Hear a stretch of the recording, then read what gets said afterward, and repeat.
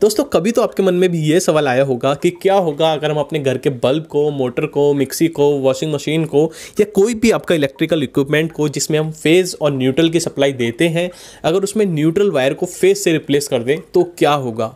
अगर हम अपने मोटर को, अपने बल्ब को दोनों ही वायर्स के अंदर 220 वोल्ट दे दें तो उस कंडीशन में क्या वो मोटर क्या वो बल्ब जल जाएगा? क्या वो मोटर जो आपके बल्ब है, वो ब्रेक डाउन हो जाएगा? क्या उसके अंदर कोई चेंजेस नहीं आएँगे? तो क्या कंडीशंस आएगी, अगर हम ऐसा करते हैं, इस वीडियो के अंदर हम जानेंगे। सो so यार वीडियो काफ़ी ज़्यादा इंटरेस्टिंग और नॉलेजेबल होने वाली है। I am Vishal electrical and electronics engineer without wasting any time अपनी वीडियो को स्टार्ट करते हैं। सो so यार, आपने थंबनेल में जैसे देखा था कि मैंने बल्ब का रेफरेंस लिया है तो बल्ब को आप रिप्लेस कर कर कोई भी आप इलेक्ट्रिकल इक्विपमेंट मान सकते हैं अपने घर के अंदर का, क्योंकि हमारे घर के अंदर दी जाती है single phase supply single phase में एक फ़ेज़ आता है, जिसमें 220 वोल्टेज आ रही होती है और एक न्यूट्रल आ रहा होता है, जिसमें ज़ीरो वोल्ट आ रहा होता है। फ़ेज़ वोल्टेज के थ्रू करंट आता है, हमारे सर्किट के अंदर घूमता है और वो न्यूट्रल वायर के थ्रू चले जाता है, जिसकी वजह से जो हमारा सर्किट है वो रनिंग कंडीशन में आ जाता है। ये तो हो गई नॉर्मल कंडीशन की बात। अब मैंने बल्ब का कंसिडरेशन करा है तो बल्ब हम कंसिडर करते हैं। अब मैंने क्या करा कि बल्ब को मैंने एक तो 220 दे दी, जो हमारे घर में आ रही थी, और मैंने एक दूसरे सॉकेट से एक और वायर लिया 220 वाली सप्लाई वो हमने बल्ब को दे दी। अब बल्ब जलेगा या नहीं जलेगा, क्या वो ब्लास्ट होगा? सो यार, यहाँ पर मैं बताता हूँ आपको कि जो आपका बल्ब है, उसके अंदर कोई भी चेंजेस नहीं आएँगे। ना तो बल्ब ब्लास्ट होगा, ना ही बल्ब जलेगा। और बल्ब के साथ कोई भी जो है ऐसी कंडीशन अराइज नहीं होगी कि जो हमारा बल्ब है, वो डैमेज हो जाए, उसका फिलामेंट जो है, वो जल जाए। तो ऐसा क्यों, ऐसा किस वजह से? सो यार, होता क्या है कि ये आपको पता होना चाहिए। अगर आप इलेक्ट्रिकल के हो तो आपको हंड्रेड पता होना चाहिए। अगर आप नहीं हो तो मैं बता देता हूँ।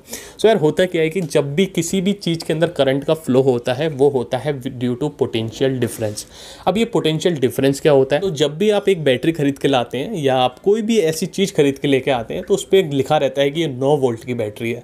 नौ वोल्ट बैटरी का मतलब क्या हुआ? कि जो पॉजिटिव टर्मिनल है, वो तो नौ वोल्ट का है, और जो आपका नेगेटिव टर्मिनल है, वो आपके ज़ीरो वोल्ट की है तो nine minus zero is equals to में नौ वोल्ट। अब मैं कहता हूँ कि गवर्नमेंट हमारे घर के अंदर 220 वोल्ट की सप्लाई देती है। तो इसका कहने का मतलब क्या हुआ कि जो फ़ेज़ वायर है, वो तो हो गया 220 और जो आपका न्यूट्रल वायर है, वो हो गया ज़ीरो। तो 220 minus zero is equals to में 220 तो इस तरह से जो है हम अपने पोटेंशियल डिफरेंस को देखते हैं।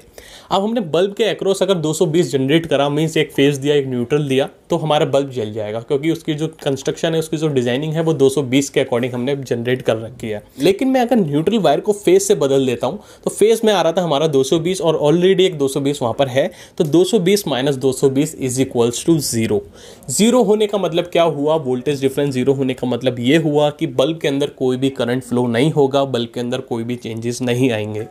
सो यार, ऐसा हमारी बॉडी के साथ भी होता है, अगर हम अपनी बॉडी में मतलब कि हमने कोई वायर पकड़ लिया, कोई हमने एक ऐसा वायर पकड़ लिया जिसके अंदर करंट फ्लो हो रहा था तो हम खड़े हो गए अर्थ पे।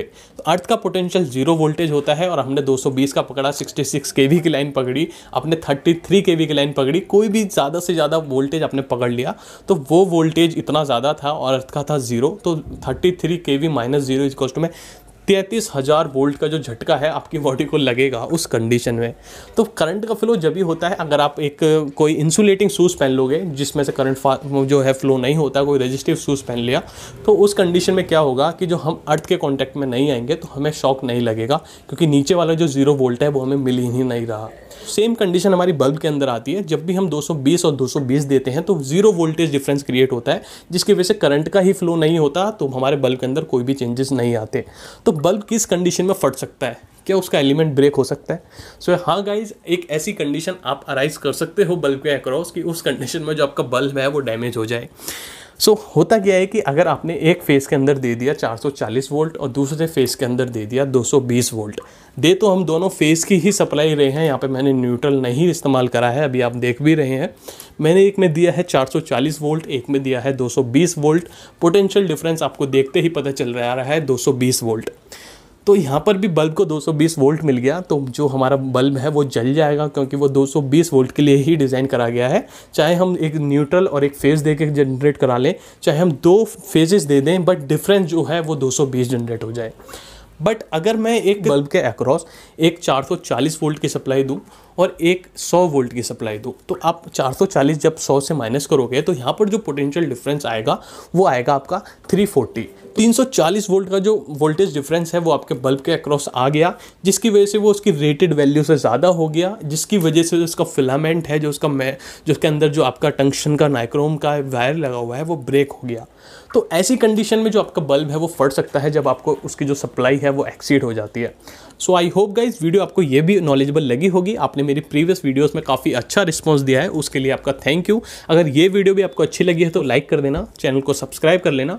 अगर आप ऐसी और ज़्यादा वीडियोज़ देखना चाहते हैं, जैसे अर्थ अपने अंदर कितना करंट ले सकती है थंडर स्टोम की कंडीशन में कौन सी कंडीशन सबसे ज़्यादा डेंजरस रहेगी, और भी गाइज़ हमारी काफ़ी ज़्यादा जो है इंटरेस्टिंग वीडियोज़ हैं, उनके सभी का लिंक मैं आपको डिस्क्रिप्शन में दे दूँगा, आप वहाँ से उसको विज़िट कर सकते हैं।